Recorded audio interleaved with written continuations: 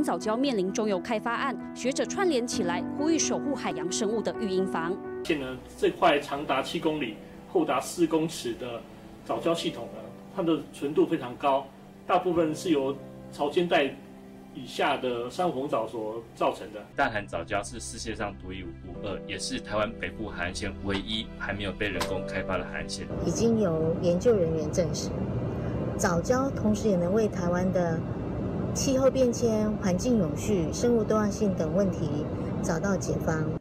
阻挡后续开发案的公投行动已经进入第二阶段。在政府的政策面的呃这个决策面的为难之下，那我们只有用公民的力量来游说，让政府跟人民来做谈判。九千多票我们已经已经过了。那第二阶段的三三十几万份的这个公投联署联署书，那我们也积极积极的在争取。那有有一个七千六百年早教在台湾。其实是一个很不容易的事情。除了公投行动，早教要永存，人心的改变同样重要。大年初三，荒野保护协会来到慈济内湖联络处，分享自然生态的稳定平衡与人类生存息息相关。因为我们真的能够跟整个环境融合在一起，这个环境好，人自然就会变好。